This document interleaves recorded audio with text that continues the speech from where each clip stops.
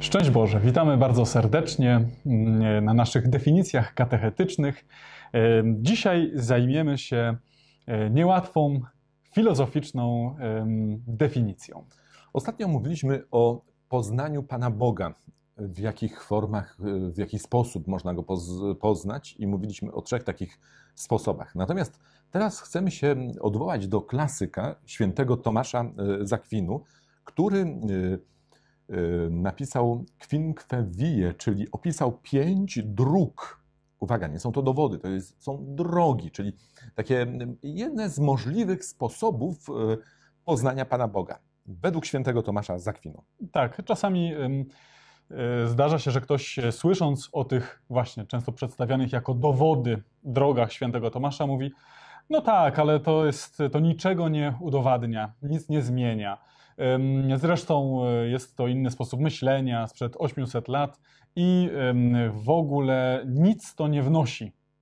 Mm, Nieprawda, ponieważ e, e, jest to, właśnie tak jak ksiądz powiedział, pewna możliwość, pewne drogi, które mogą pomóc, ale nie e, koniecznie kogoś em, muszą przekonać od razu. Nie są zero-jedynkowe. Tak, w każdym Definitywne. razie są prowokacją dla naszego Mhm. rozumu, aby e, rozważyć także te argumenty, które podaje Tomasz.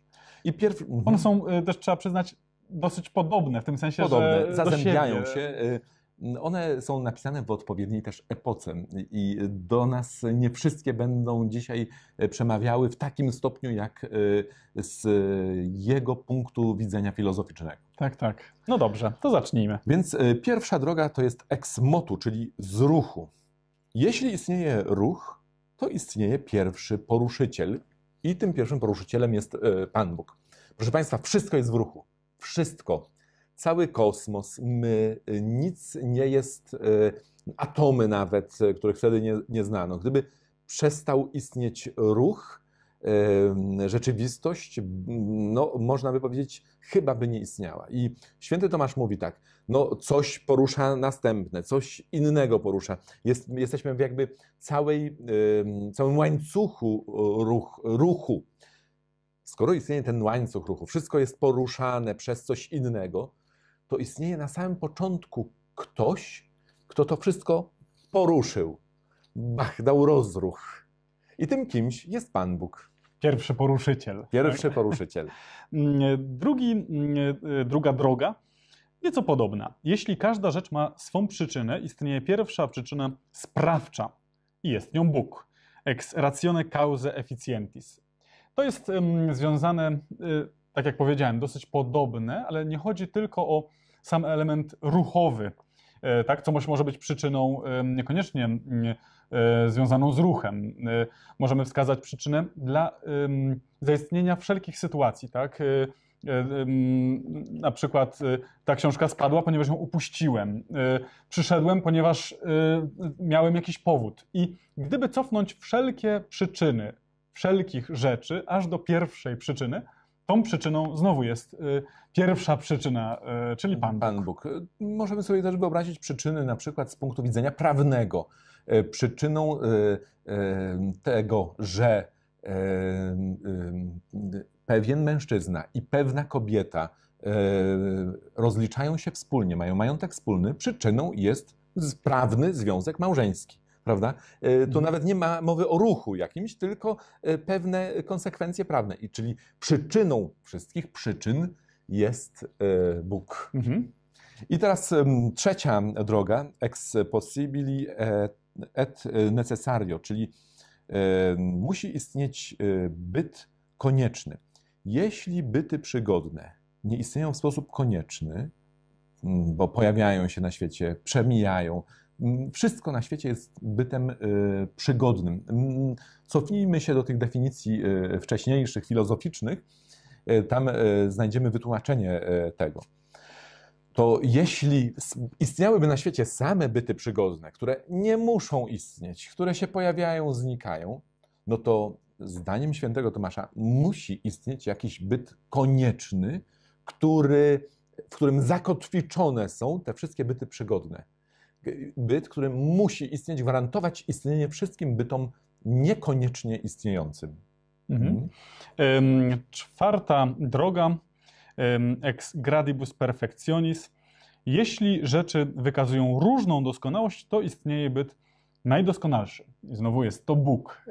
Tutaj chodzi o to, że zdajemy sobie sprawę, że mm, e, potrafimy wskazać, że coś jest doskonalsze od czegoś innego. Tak? Mamy, ym, pa- patrząc na świat, wiemy, że potrafimy jakoś wykazać, coś jest bardziej skomplikowane, e, coś jest bardziej mm, złożone.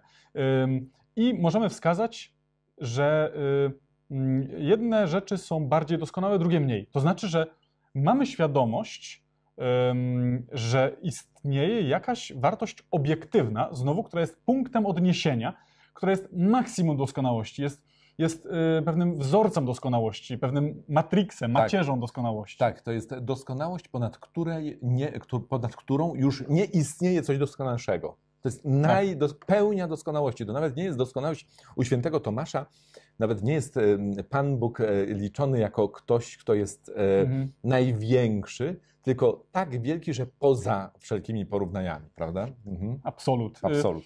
Ym, To też warto zwrócić uwagę, że no to jest właśnie te, te wszystkie drogi zakładają taką wizję świata, która y, uznaje pewną obiektywność. Tak? Y, Tak. To w świecie dzisiejszym, tak bardzo subiektywnym. Proszę księdza, ja tego nie czuję. Właśnie. Więc koniec, koniec zrozumowania mamy tutaj. No.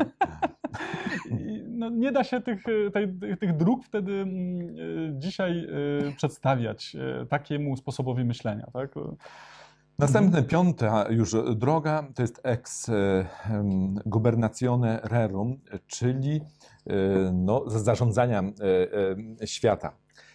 Jeśli celowe działanie jest oznaką rozumności, to ład i porządek w działaniu bytów nieożywionych lub pozbawionych poznania świadczą o istnieniu Boga kierującego światem nieożywionym. Chodzi o to, że no, ktoś tym musi jakoś zarządzać. Ktoś musi wkładać w gwiazdy, planety, em, całą strukturę kosmosu, no jakiś porządek. Niektórzy powiedzą, no to są prawa fizyki.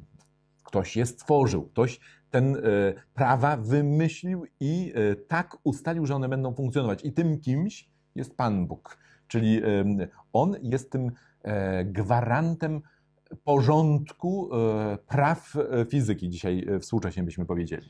Tak, ważne, żeby podkreślić, że święty Tomasz, właśnie tak jak wcześniej już ksiądz powiedział, jako spadkobierca myśli arystotelesowskiej, bo też o tym już mówiliśmy, Mhm. że Tomasz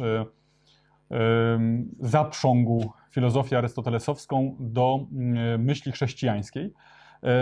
Pokazuje Pana Boga, tak, absolut, tak jak o nim mówił Arystoteles, jako byt ponad wszystkie byty, który nie jest w hierarchii bytów, że jest Mhm. e, najlepszy, tak? Nie jest jednym z nas. Tak, tak, jest tak. kimś poza, Tak, e, tak. kto wykracza, kto właśnie jest pewnym punktem odniesienia, obiektywnym zupełnie Tak. dla wszystkiego, co jest e, subiektywne. To jest jedna z tych różnic między Arystotelesem a świętym Tomaszem, który nie jedynie kopiuje Arystotelesa, tylko rozwija. Mhm.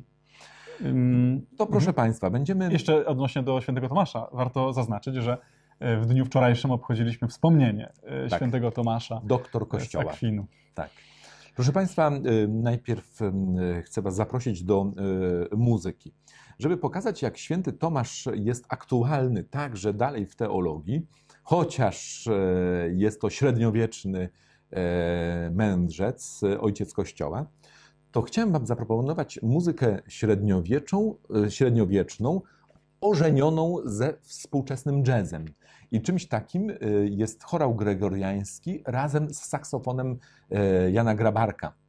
E, Więc odsyłam do tej muzyki, którą e, znajdziemy w kodach QR, e, czyli e, Grabarek i chorał gregoriański. Mhm.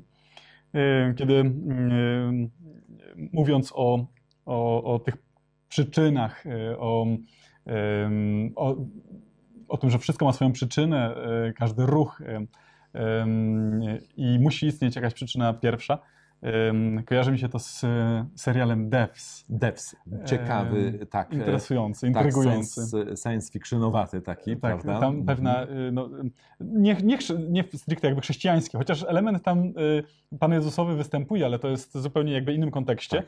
Mm, Natomiast ciekawie tam jest pokazane y, możliwość y,